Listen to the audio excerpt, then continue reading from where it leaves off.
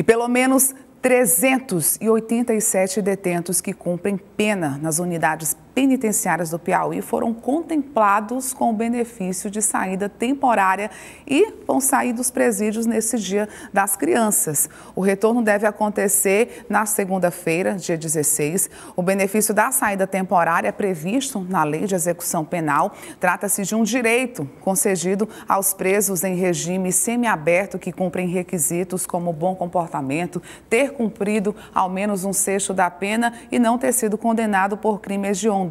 O objetivo da medida é permitir que o apenado possa fazer visitas à família em algumas datas específicas do calendário, como o Dia dos Pais, Dia das Crianças e Natal. Estes 387 presos beneficiados com essa saída temporária do Dia das Crianças cumprem pena na colônia agrícola Major César. Destes, 124 são monitorados pela tornozeleira eletrônica.